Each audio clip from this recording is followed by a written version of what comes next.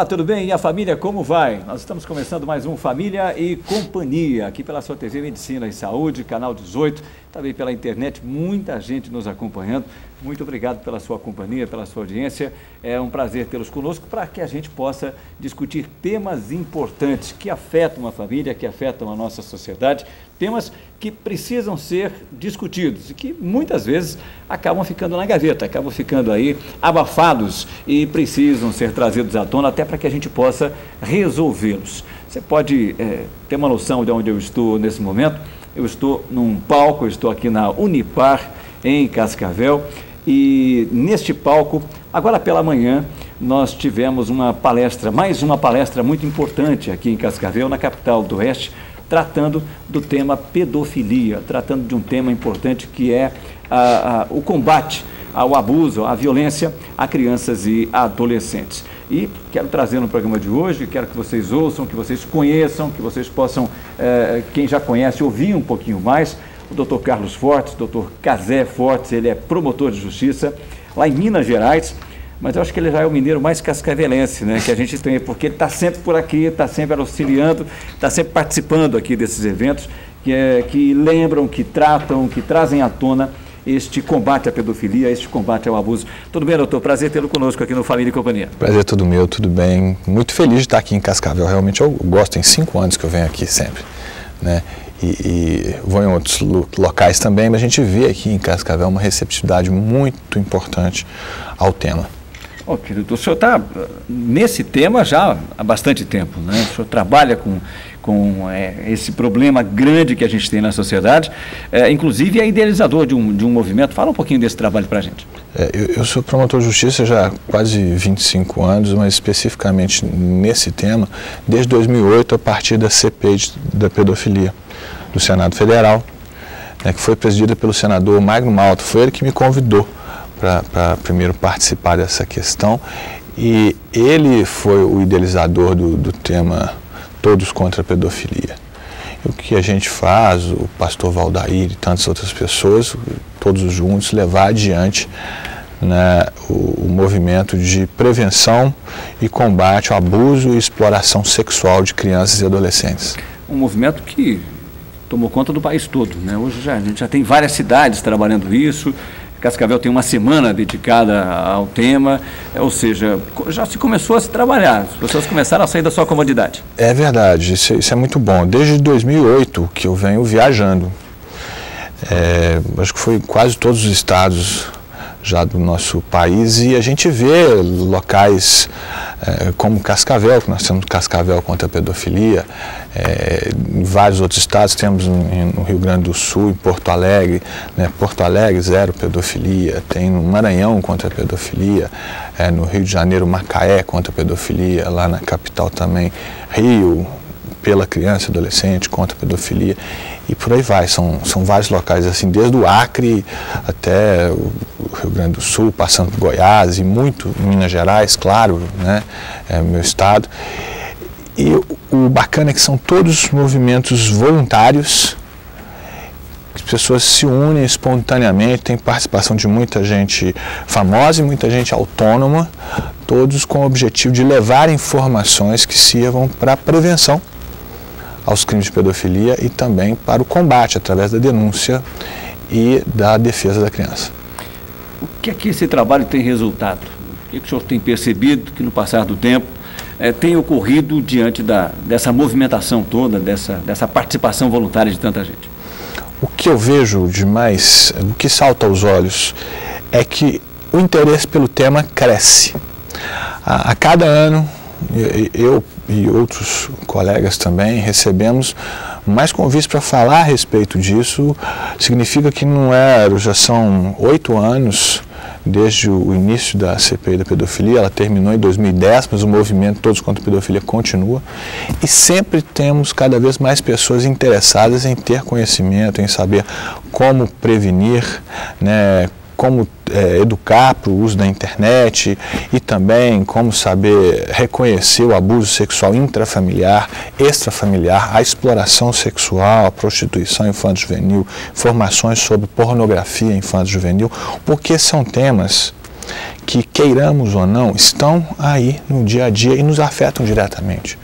É, esses delitos de pedofilia acontecem muito mais do que a gente pensa. Hoje em dia, a gente vê de 2008 para cá um, um, aumento do número de denúncias, mas não porque haja de fato um aumento do número de crimes, mas porque as pessoas estão mais conscientes e estão falando mais a respeito do assunto, estão fazendo as denúncias. É importante que façam, não só para a punição do, do criminoso, mas principalmente para a assistência à vítima. É, acho que a primeira coisa que você tem que pensar é isso. Onde há um crime de estupro de vulnerável, não há só um criminoso que tem que ser preso e cumprir sua pena. Há principalmente uma criança que precisa de ajuda e por muito tempo. Ajuda clínica, ajuda psicológica, né, atenção especial. As pessoas então não, não podem estranhar. Né? Quanto mais se mexe nisso, os números devem aumentar. A tendência é aumentar e não diminuir, é isso? É, é sim. E não é repito, não é porque acontecem mais crimes, é porque as pessoas revelam mais. É.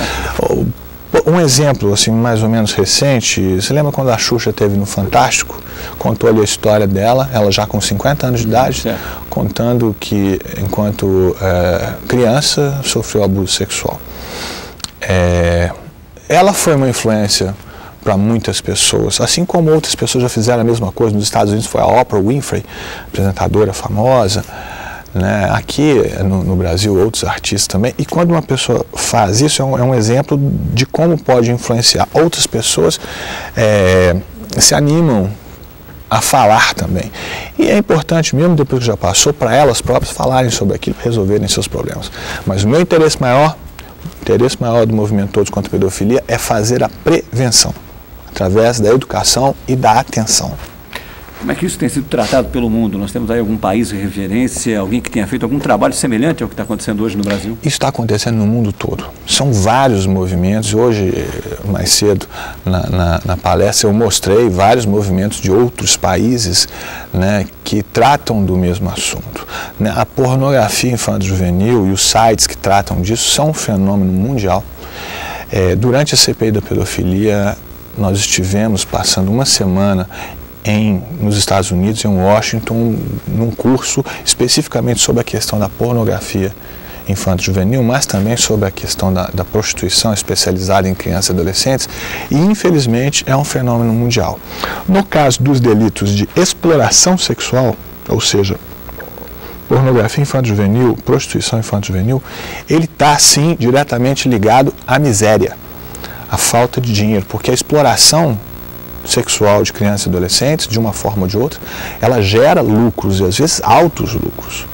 Agora, na questão do abuso sexual, ou seja, aquele estupro que ocorre dentro de casa por um parente próximo, ou na escola, ou nas proximidades, o estupro de uma criança, é, esse é um fato que não está ligado à questão financeira. Acontece com pessoas que têm dinheiro, pessoas que não têm.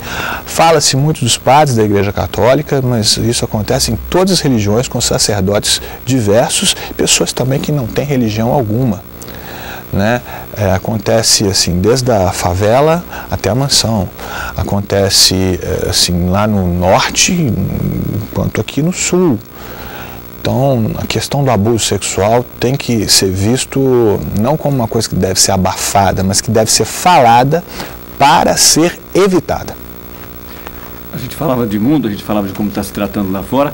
O Brasil ainda é visto como, como um ponto para turismo sexual? Ainda se observam as nossas crianças aqui como fonte de prazer?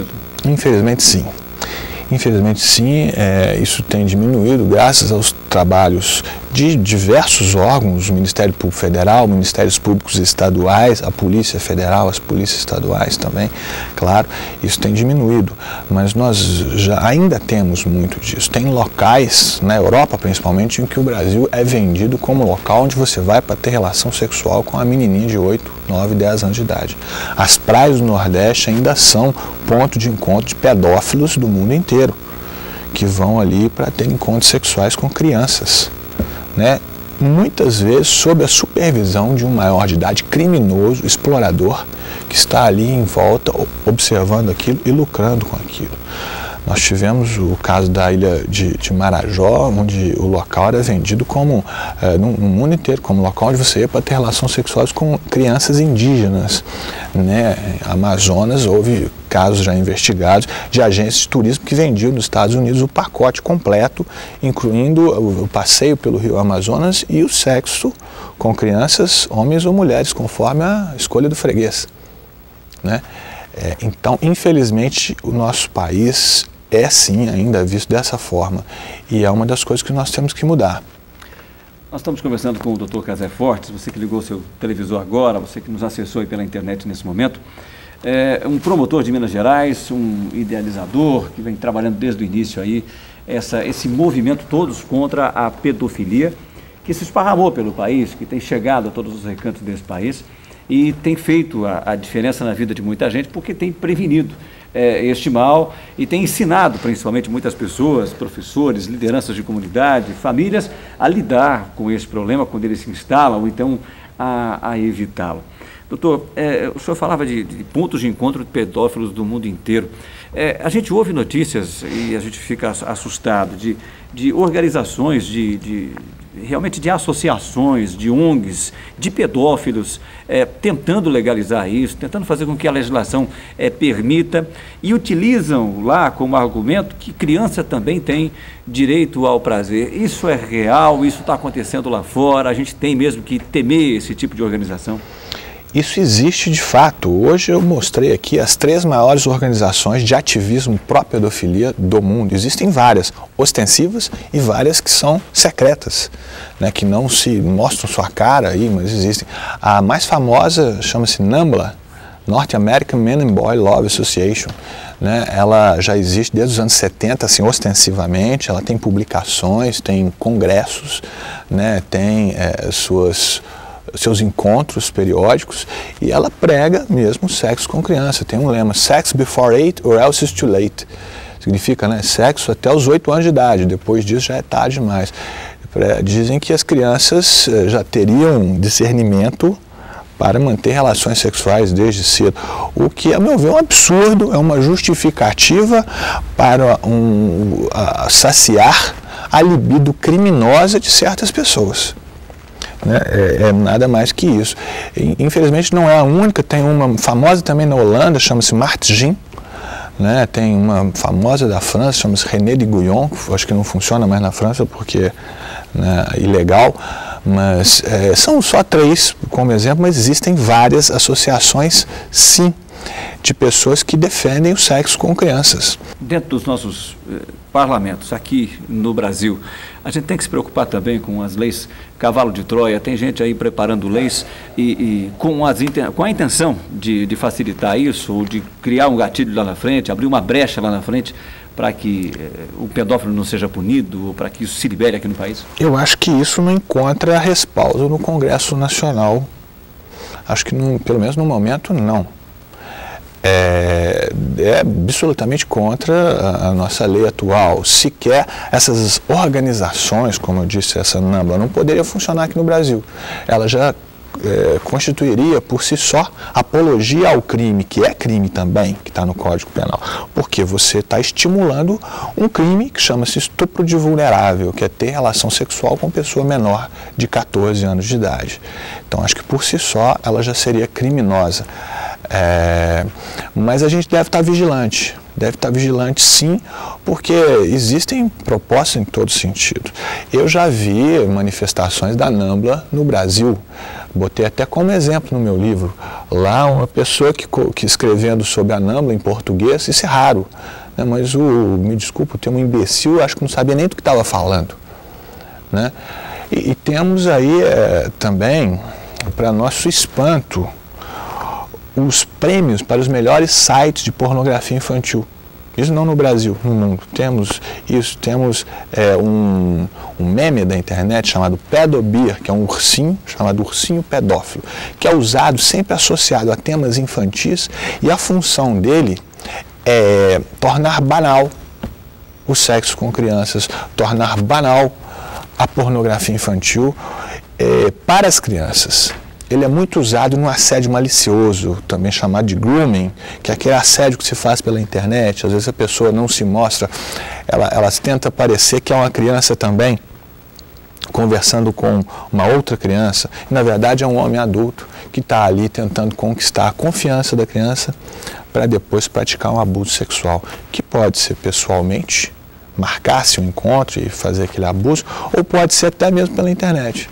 Pela internet ele convence aquela criança, dá presentes, dá é, joguinhos, né, vales compras, e através disso ele conquista aquela criança para obter em troca fotos é, em que a criança se exibe nua, pratica certos atos que para elas, é, para ela pode até não, não entender o significado, mas para ele que está do lado de lá tem um significado essas fotos não só são aproveitadas por ele próprio, mas passadas adiante e até mesmo vendidas na internet. Existe um mercado aí, eu quero tratar desse mercado já já. A gente precisa falar um pouquinho a respeito também de como se prevenir, porque eu tenho certeza que muita gente nos ouvindo agora está assustado em casa. Espera lá, meu filho está correndo risco, esse risco realmente existe, esse problema está aí, é mais comum do que a gente pode imaginar. Eu vou tratar disso já já, depois do nosso intervalo, é, que a gente volta aqui com o doutor Casé Forte, ele é promotor em Minas Gerais, está tratando desse tema pedofilia em Cascavel. Um instante só.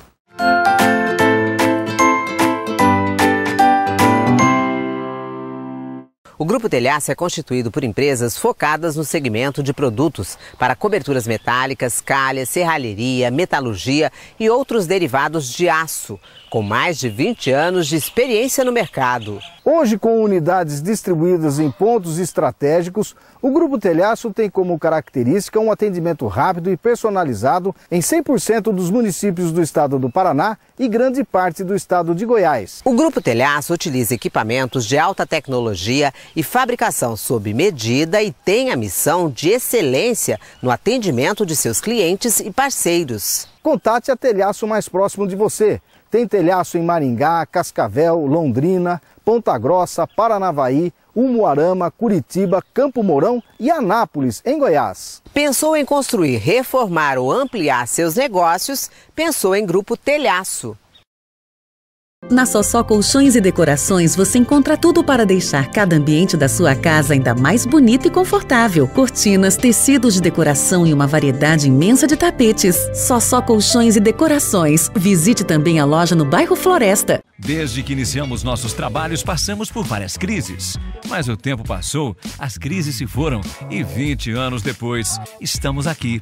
A maior lição aprendida nesse tempo é que o diferencial de qualquer empresa, a toda hora, é o atendimento. É por isso que a Dinâmica investe em sistemas de controle e gestão, treinamento e desenvolvimento dos colaboradores e em estrutura física para maior conforto da equipe.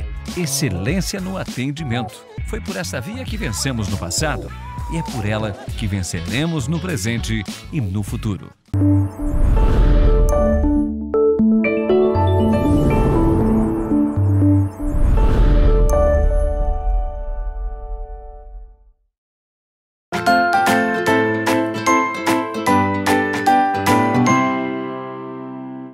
De volta com família e companhia, agradecendo aqui aos amigos patrocinadores desse programa, a né? gente que faz com que é, isso aqui se torne realidade, que a gente tenha realmente um espaço para debater assuntos importantes, que a gente fale aqui de assuntos que realmente precisam ser tratados. Obrigado ao pessoal da Dinâmica RH, pessoal da Telhaço, um abraço ao José, um abraço à Vera, a Sossó Colchões, muito obrigado a vocês. Um monte de gente que está aí torcendo para que tudo corra bem, para que esse programa continue. Obrigado aqui também a toda a direção do canal 18. Olha, é, tem esse livro aqui à sua disposição, A Verdadeira Fonte da Motivação para a Superação. É, tem um videozinho aí bem rápido para que você possa acompanhar um pouquinho mais, para que a gente possa falar sobre o que é esse livro. Acompanhe. Eu tenho certeza que, assim como eu, você também quer um mundo melhor para que os nossos filhos vivam.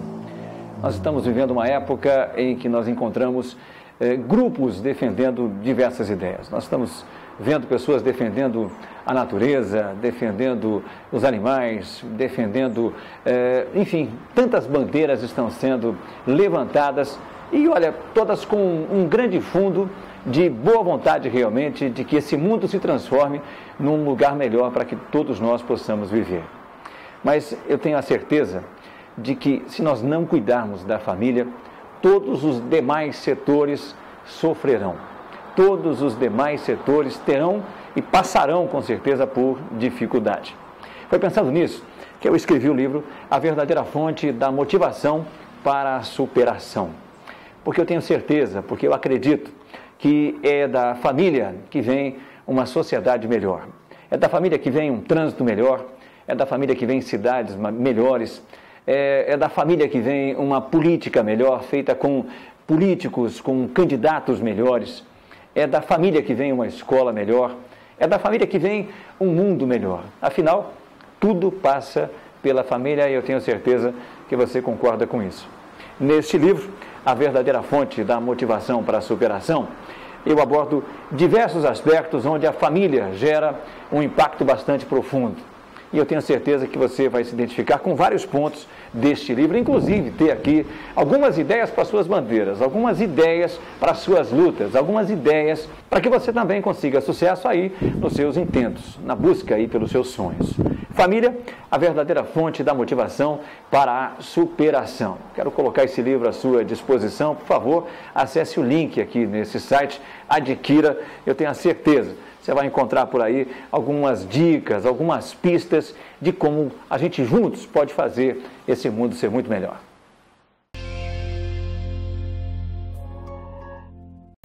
Você acompanhou, né? Então o livro está à sua disposição e eu quero presentear aqui o doutor Cazé esse livro, A Verdadeira Fonte Muito da Motivação para, a Superação. Doutor Cazé Fortes é promotor de justiça, vai continuar falando com a gente aqui a respeito de pedofilia. Esse livro está falando de família, doutor, um livro que a gente é, coletou aí algumas experiências com o trabalho que a gente tem realizado é, com palestras, com visitas, entrando em muitas casas. E pedofilia está dentro desse, desse rol aqui, está dentro de, de todo esse, esse contexto familiar.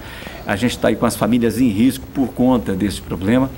E um dado que nos deixa bastante abalados é que a pedofilia geralmente ocorre por alguém muito próximo, por alguém dentro de uma casa, por alguém que, que por conta da, da, sua posição dentro dessa família, por ser uma autoridade ou por ter a confiança dessa família, acaba abusando, acaba é, destruindo a vida aí de, um, de uma criança. Né? Isso é real, né, doutor? Os dados apontam que realmente pessoas muito próximas acabam abusando.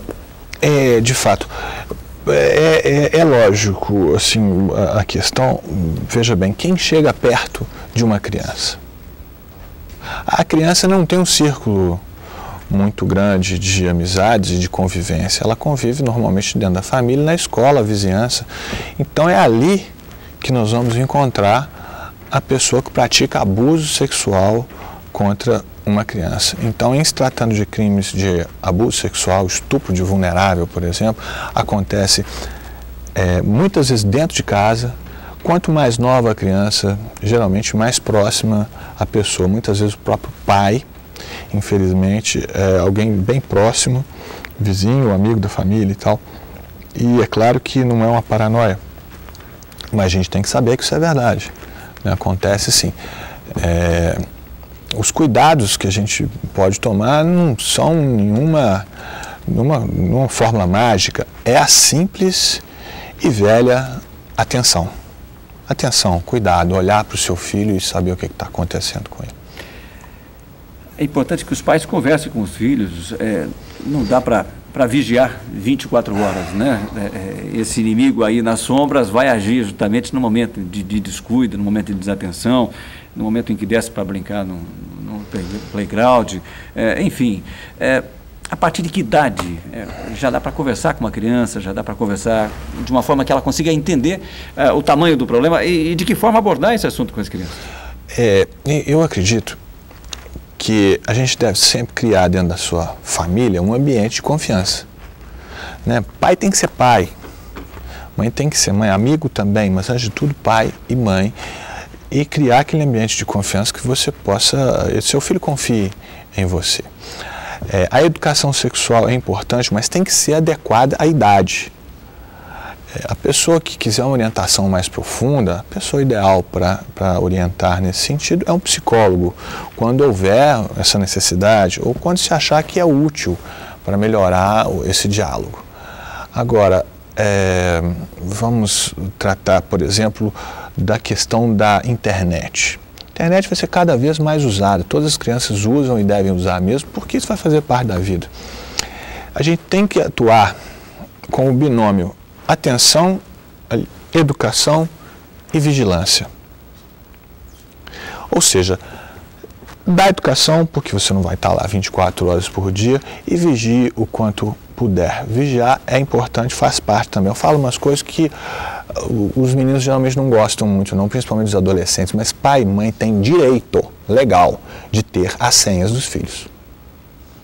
Tem e olhar mesmo, e olhar o WhatsApp, olhar o Facebook, e olhar o Snapchat, o que for, o pai e a mãe têm direito de chegar, ah, você, minha privacidade, a sua privacidade vai até certo ponto, antes de fazer 18 anos de idade, ser maior de idade, sua privacidade é do seu pai e da sua mãe também. Porque, veja bem, legalmente, se um rapaz ou uma moça de 17 anos é, destruir o seu veículo, quem é que vai pagar? É o pai e a mãe. Eles são os responsáveis civis por aquela criança, aquele adolescente. Se um garoto dessa idade entrar na internet, colocar um vírus, destruir um banco, de dados valioso, quem é que vai pagar o prejuízo? O pai e a mãe. Se vocês são responsáveis, pais, são responsáveis, vocês também, em contrapartida, têm que ter o direito de controlar o, o seu filho e de saber o que, que ele anda fazendo. É claro que eu não estou dizendo para você viver lá olhando, bisbilhotando a vida do seu filho mas você tem que ter esse poder para fazer quando quiser fazer. Quanto mais cedo, melhor para conversar a respeito de pedofilia. É, eu, eu, vi um vídeo na, na, internet esses dias, uma experiência que alguém ah. fez com algumas mães. Escuta, se eu conversar com a sua filha ali no playground agora, ela vai me dar atenção, eu posso levá-la para algum lugar, você acredita? Não, não vai fazer isso jamais. Chega com um cachorrinho, é, o senhor falava a respeito de internet, oferece um bônus, oferece um, um brinde, um doce, e a criança na sua inocência, é, principalmente se for alguém do, do círculo, se, se, for alguém muito próximo, né, doutor, vai, vai, vai. É, a partir de quando conversar, então, e, e e de que maneira abordar isso, né? sem agredir a criança também. O senhor falava a respeito, também não, não podemos criar um, um, um, problema maior, né? É. É, fazer um alarme aqui ou, ou criar aqui uma, uma, paranoia, né? Mas é preciso tratar do tema, né? Não, sim, eu acho que deve tratar sempre, mas respeitando cada idade. Se você tiver muita dúvida, com, consulte um psicólogo para orientar melhor. Mas isso tem que ser uma coisa natural. Né? Não, não, se pode chegar, falar, senta aqui, agora nós vamos, não sei, eu acho que não é assim. Né? Agora nós vamos falar de pedofilia. Você tem que ter medo do cara que chega, porque a criança mais cedo ou mais tarde vai ver que não é exatamente assim e vai desmoralizar, vai perder a credibilidade. Né? Ou os pais vão perder. É, acho que é, a cada etapa da vida né, tem que se ter naturalmente as conversas né, a respeito do do cuidado que a criança deve ter com o seu corpo, quem deve ter acesso a ela. Isso é muito importante. A, a gente viu hoje até na, na palestra também alguns exemplos de crianças que sofreram abuso e não perceberam que estavam sofrendo abuso. Por quê? Porque eles estavam dentro de um contexto de confiar tanto na pessoa que abusava que achavam aquilo natural, então, cabe aos pais e mães responsáveis esclarecer, sim, certas coisas, mas com cuidado. Não tem nenhuma fórmula mágica. É atenção e educação e exemplo também, né? Nós estamos numa sociedade onde se terceiriza cada vez mais a educação, né? Escola em tempo integral. Esses dias uma mãe reclamava, podia ter creche à noite, né? Hum. É mais ou menos isso. As pessoas entraram numa loucura e não estão cuidando dos próprios filhos. E aí surge o problema. Nesse momento de ausência, nesse momento de desatenção, é possível surgir o problema.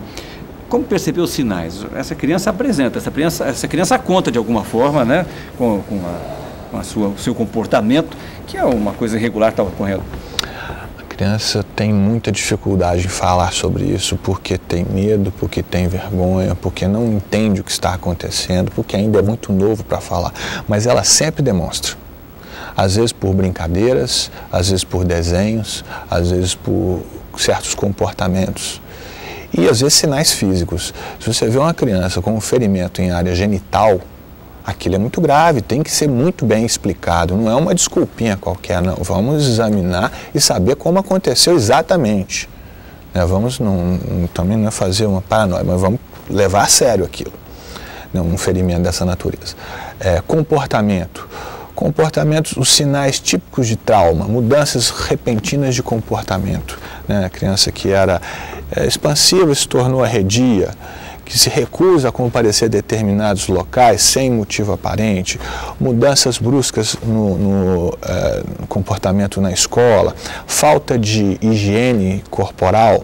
Sabe que às vezes a criança se autoflagela e, e não quer ter higiene para se tornar menos atraente, isso na cabeça dela. Vou me tornar menos atraente para não ser assediado pela pessoa que está naquele momento fazendo isso, né? É, e uma característica que é muito comum em vítimas de violência sexual é o comportamento sexualizado precoce. Crianças que demonstram, fazem, dizem coisas que são incompatíveis com a sua idade, tudo relativo a sexo. Mas nenhum desses sintomas comportamentais, digamos assim, é absoluto. O conjunto deles, o aparecimento deles, revela a necessidade de uma investigação mais profunda. Ou seja, ah, meu Deus, meu filho está sendo abusado. Não, calma, você está observando alguma coisa, você tem essa desconfiança, então converse com um profissional. Converse com uma, deixe, é, observe com mais cuidado. Não vai colocar a criança contra a parede e falar, o que, que aconteceu? Provavelmente não vai conseguir nenhum, nenhum bom resultado. Às vezes as crianças demonstram também através de desenhos. Mostrei hoje na palestra vários e vários desenhos feitos por crianças que sofreram abuso sexual. Às vezes são bem eloquentes, a gente olha assim percebe. Outras vezes demandam um, um olhar mais especializado. Às vezes demonstram por brincadeiras. Nós tivemos um caso na minha comarca que a criança de 8 anos de idade é, num, num, bairro bem pobre. Ela estava num, num, local de, de, uma creche. No final da tarde, as meninas tomavam banho todas juntas, meninas pequenas, no máximo 10 anos de idade, é, tomavam banho para ir para casa. E essa menina de 6, 7 anos de idade abordava as outras coleguinhas no banho, querendo ter com elas atos libidinosos ali. E é claro que isso é um indício comportamento sexualizado precoce. Por que, que ela estava fazendo aquilo? Onde que ela viu aquilo ou que, como ela aprendeu? Isso merece uma investigação. Então a gente tem que estar tá atento sim a esses sinais, porque esperar que uma criança chegue para você e fale aqui, ó, estou sofrendo abuso sexual. Isso vai não vai acontecer. Tirando um pouquinho o foco da, da criança, o que, que a ciência tem dito a respeito do pedófilo? Tem se investigado, tem se evoluído? É, é, no estudo desse, desse comportamento, dessa... O meu interesse na, na, na questão é do meu lado, que é jurídico. Então, mas o que eu posso dizer do que eu li a respeito e do pouco que eu escrevi eh, com esse enfoque lá no meu livro é o seguinte: nós temos a palavra pedofilia que serve em dois contextos para significados diversos. Dentro do contexto da psicologia, da psiquiatria, da psicanálise, ela serve para designar uma parafilia, ou seja, um comportamento sexual que não é ortodoxo. Para a margem, filia, afinidade, não afinidade, um gosto, um amor que está à margem. Né? Então temos várias parafilias, a zoofilia, atração sexual por animais, necrofilia, atração sexual por mortos e várias, a riparofilia, atração sexual, sexual por pessoas sujas, dezenas, dentre elas pedofilia. A pedofilia também não é uniforme. Existe aquela uma, que gosta de meninos e meninas mais velhos, crianças bem novas, só meninos, só meninas, determinada idade certa, bebês. Existem várias nuances. O portador de uma parafilia é doente mental? Não, não é. O portador de uma parafilia, ele tem um desejo sexual diferente do ortodoxo. É, ele sabe o que é certo, ele sabe o que é errado, ele pode agir de acordo com esse entendimento. Portanto, para a lei, ele é imputável, ou seja, ele é culpável, ele pode ser processado e condenado por um crime. É, a pedofilia no âmbito jurídico, aí vemos um outro significado eu prefiro falar crimes de pedofilia, crimes ligados à pedofilia ou crimes sexuais cujas vítimas são crianças ou adolescentes. É uma definição mais abrangente. Quando a gente fala aqui na camisa todos contra a pedofilia, não estamos falando em relação à parafilia, que não teria sentido. Estamos falando contra os crimes de pedofilia. Aqui leia-se todos contra abuso sexual, exploração sexual, pornografia infantil, turismo sexual, pedófilo, é, explora, prostituição infanto-juvenil. Todos esses delitos estão aqui incluídos em todos contra a pedofilia.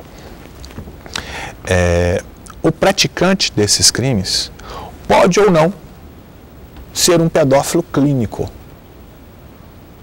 Por quê? O sujeito que tem relação sexual com uma criança, que estupra, portanto, uma criança, ele necessariamente tem um desejo pedófilo. Porque senão ele não realizaria aquela relação sexual. Agora, o sujeito que agencia a prostituição de crianças, como vimos em muitas ocasiões durante a CPI. Um sujeito que vende pornografia infantil, como a gente vê a todo momento na internet, ele não precisa ser um pedófilo clínico, ele não precisa ter atração por criança, ele quer dinheiro. Ele vai ter sua clientela, sim, formada por pessoas que têm interesse sexual em crianças. Mas ele, que vende, não precisa ter esse interesse. É como um traficante que não usa Pode droga. não ser viciado. É. Exatamente, pode ou não ser viciado. Por outro lado, voltando aqui à definição clínica, não sei se eu estou me fazendo entender. É, o pedófilo ou pedossexual portador da parafilia, que tem a denominação pedofilia, ele não é necessariamente um criminoso. Porque ele tem dentro de si, dentro da sua mente, desejo sexual por uma criança. Ele sabe que isso é errado. E ele pode ou não realizar esse desejo. Pode ou não estuprar uma criança. Se ele tem o desejo, mas não realiza, ele não praticou crime, portanto não é criminoso. É o que eu chamaria, chamei no meu livro, de pedófilo ético. Ele sabe o que é errado e não quer praticar o que é errado. Ele é capaz de se controlar, porque ele não é um, um, um bicho selvagem. Então ele não realiza. Como tem também aquele que sabe que é errado, mas tem o desejo e opta por praticá-lo. Esse é um criminoso e, no meu entendimento, um criminoso com uma periculosidade maior, porque ele tem a tendência a repetir esse tipo de delito. Nossa legislação está preparada para entender todos esses tipos, punir quem tem que ser punido, encaminhar para tratamento quem afastar do convívio, quem tem que ser afastado? É um, é um conjunto de, de leis e de operadores para aplicar. Eu estou te dando aqui o meu entendimento, que está exposto no meu livro, né, e que é compartilhado por muitos colegas de várias áreas. E também não é por outros. Né, o direito é assim. É, eu vou me preocupar sempre, em primeiro lugar, pela defesa do interesse da vítima, que é a criança e adolescente. Que não só por mim, mas porque está na Constituição, que a prioridade absoluta da lei brasileira é a garantia dos direitos dessa parcela da sociedade, crianças e adolescentes. Então, o meu enfoque vai ser sempre colocando em primeiro, segundo e terceiro lugar o interesse da criança, o interesse do adolescente nessa questão criminal. É, portanto, resumindo, pedófilo criminoso não é doente mental. É criminoso e tem que pegar a cadeia. A criança tem que ser protegida, nós temos um estatuto, está tudo lá direitinho, a criança é, é, ela merece ser protegida, ela não consegue se defender, o Estado tem se preocupado com isso, nós estamos no ano eleitoral, os municípios têm se preocupado em criar uma estrutura, em ter lá um atendimento às vítimas, a, a bancar um trabalho de prevenção, ou a gente vai continuar dependendo desse exército de voluntários, doutor? Muito menos do que deveria. O Estado Dito isso, nível municipal, estadual e federal, não cumpre o preceito constitucional de prioridade para criança e adolescente. Fala-se muito, mas precisa sair do papel e para a realidade. Porque nós vemos isso na hora dos investimentos, principalmente na área de educação. Porque todo mundo sabe, é um lugar comum, mas é verdade, a educação é a base, é fundamental né, é, de assistência a vítimas de violência em geral, crianças e adolescentes, existem muitas e muitas cidades que têm sequer um meio de se dar uma assistência a uma criança que seja estuprada. existem, eu vi em muitos locais do Brasil que agora, há quase 26 anos do Estatuto da Criança e Adolescente, ainda não tem conselho tutelar. Então, é, é, nós estamos ainda muito aquém do minimamente necessário para garantia prioritária, de fato, dos direitos da criança e do adolescente.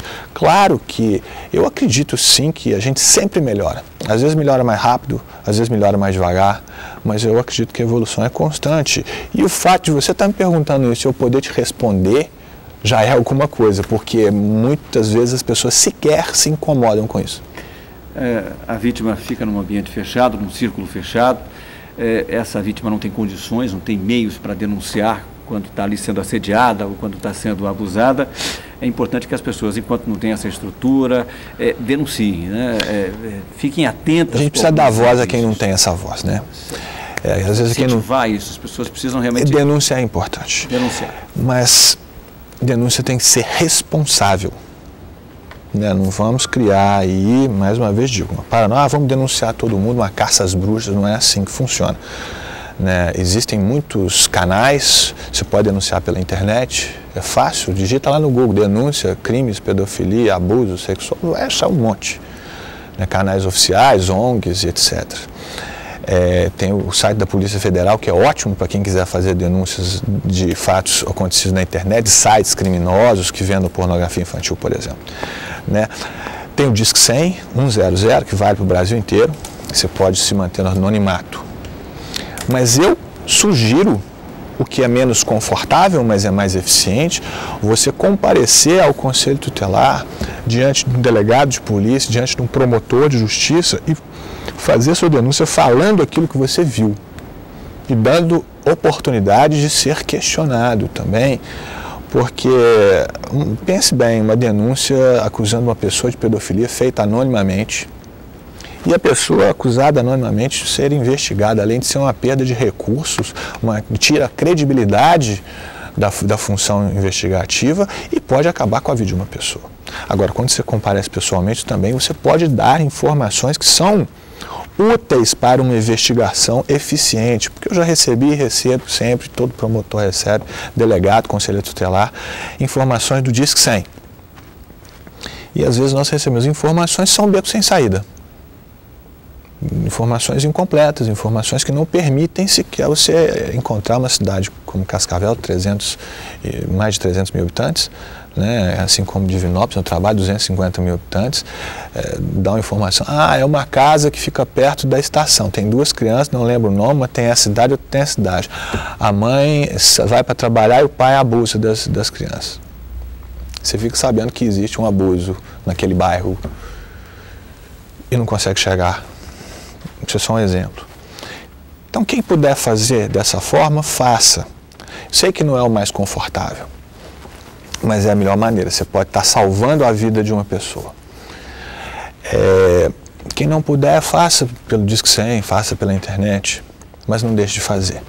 É, não, não é uma questão de vingança, é uma questão de cuidado e de prevenção.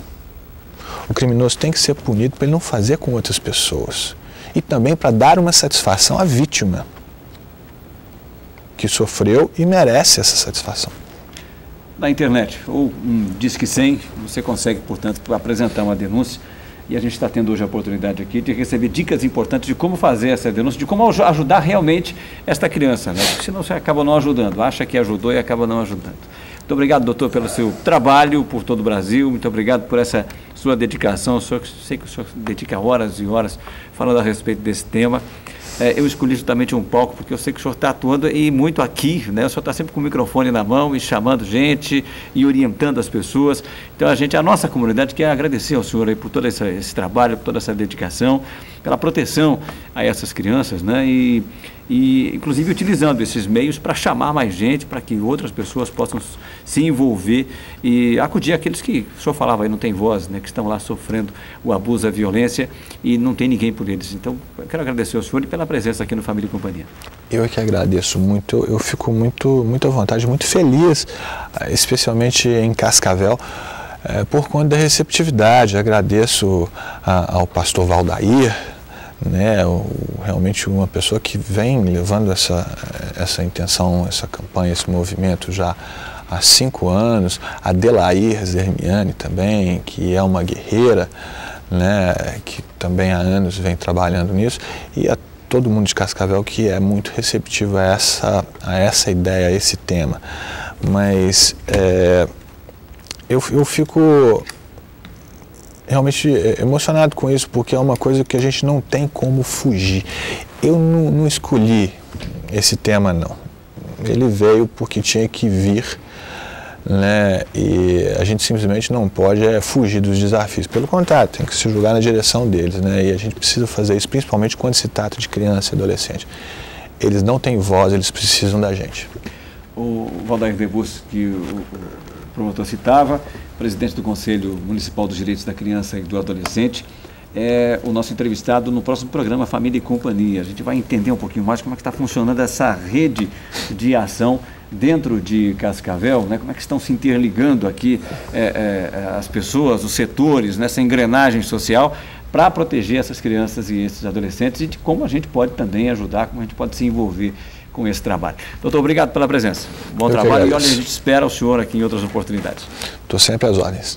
Um abraço a você, obrigado ao pessoal da Dinâmica, ao pessoal da Sossó Colchões, ao pessoal da Telhaço. Você que está sempre ligado com a gente aqui, está nos acompanhando também pela internet, compartilhe essas informações aí, você percebe a, a, a a riqueza né, desse, desse trabalho aqui do doutor e das informações que ele está passando. Compartilhe isso, conte isso para outras pessoas, é, divulgue esse link, divulgue esse canal para que outras pessoas possam ter acesso. Um abraço e até o nosso próximo programa. Até lá.